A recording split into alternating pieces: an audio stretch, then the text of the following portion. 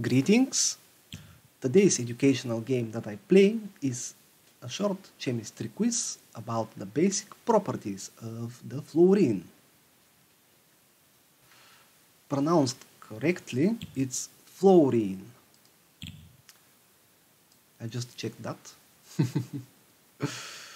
and uh, let me begin with choosing one of three properties. First, in the, in the appearance, it is given the liquid form of the fluorine because in standard temperature and pressure it appears as a gas. Now I will choose the gas, but uh, I'm not pretty sure about this. This should be checked. Appear, but I'm sure about the appearance. It is when it is a liquid, it is a bright yellow liquid. Then I'm going to the element group. Uh, fluorine is the fluorine. The fluorine is a nonmetal, but uh, dividing the nonmetal groups, it is a halogen. Lately, the elements before the noble gases gases are, are referred as halogens.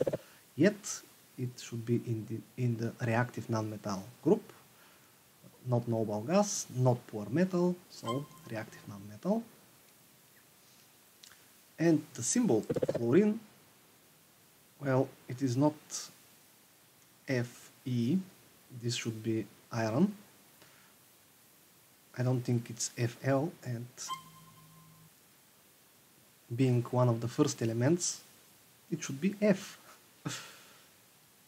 right, so I'm going to the right part of the quiz where the first thing to choose is the atomic number. Now they are given periodically, so it is uh,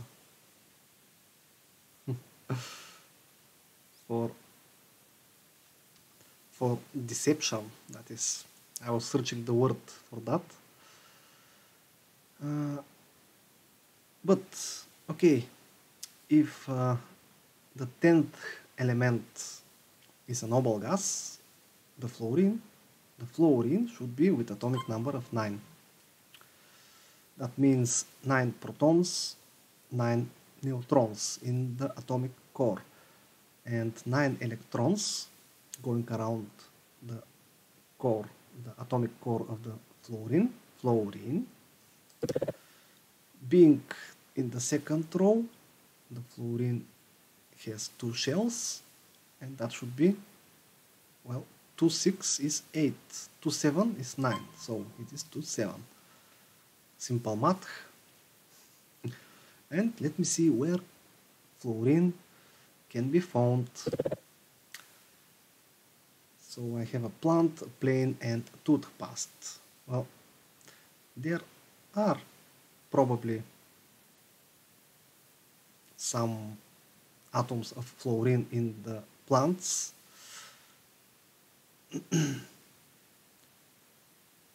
but, but the most popular usage of fluorine is in toothpaste, in, in toothpaste toothpastes. Uh, well, according to some research, the fluorine protects the teeth from cavities.